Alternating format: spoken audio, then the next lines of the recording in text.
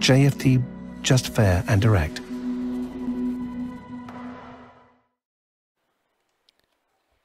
Good morning, everyone, and welcome to JFD's daily market review for uh, June uh, the 10th.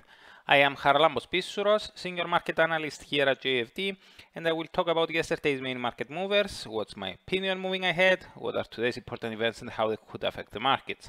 But before we start, let's read our disclaimer. The content we produce does not constitute investment advice or investment recommendation, should not be considered as such, and does not in any way constitute an invitation to acquire any financial instrument or product. I will leave you a few seconds to read the rest, and then we will jump into our analysis.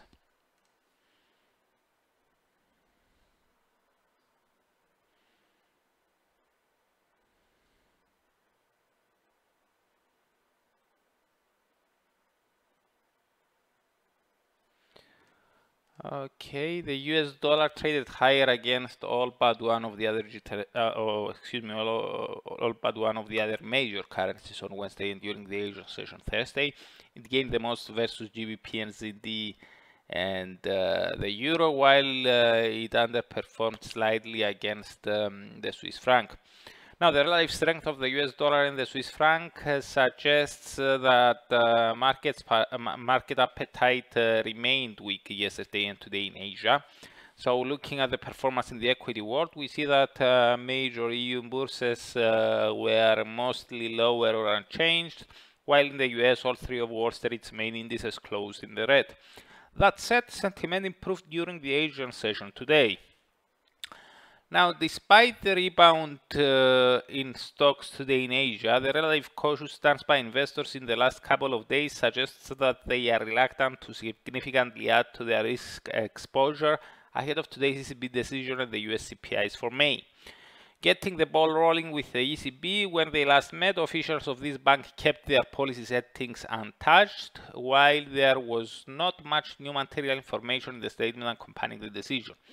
What's more, according to sources, policymakers did not discuss uh, plans with regards uh, to their bond purchases at all.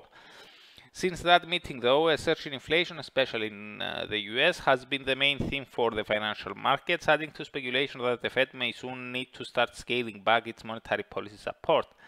In the Eurozone, headline inflation rose to 2% year over year, but the core rate increased only to 0.9 from 0.7%, adding some credence to the view that the spike in the headline inflation may be due to transitory factors.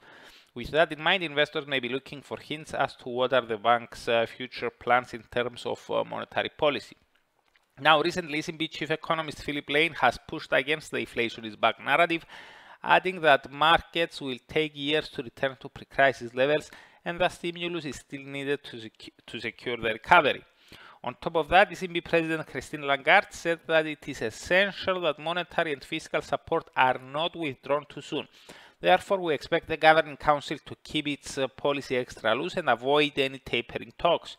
On the contrary, we see a small chance that there may be a debate on whether to prolong their support, and decision that will depend on how strong officials believe the economic recovery is, something we will get clues on from uh, the updated economic projections. Now passing the ball to the US uh, CPIs, both the headline and core rates are expected to have climbed even higher to 4.7% and 3.4% year over year from 4.2 and 3% respectively.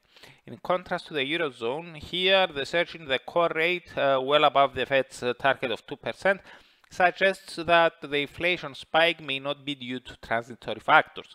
Even the core PCE rate, which is the Fed's uh, favorite deflation metric, jumped to 3.1% uh, year over year in April from 1.9%. Now, with several committee members already talking about the need to have a tapering discussion in the upcoming meetings, this may increase speculation that the Fed will need to have start normalizing its monetary policy sooner than previously thought, and may result in a pullback in equity markets and other risk-linked assets. At the same time, the US dollar and other safe havens could come under some uh, buying uh, uh, some buying interest.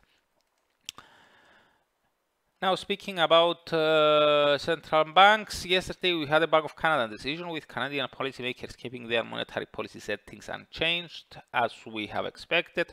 But noting that any adjustments to the pace of their quantitative easing purchases will be guided by the ongoing assessment of uh, the strength and durability of the economic recovery.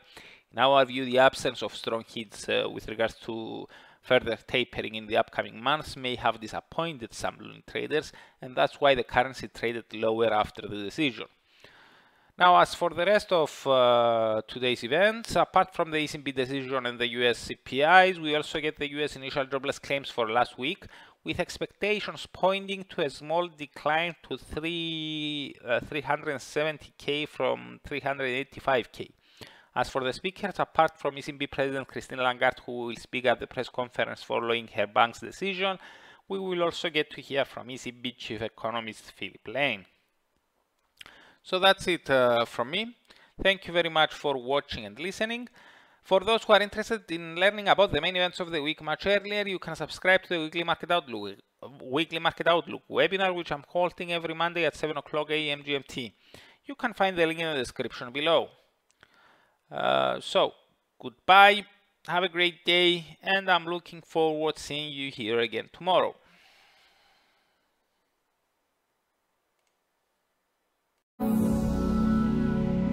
JFD, just fair and direct.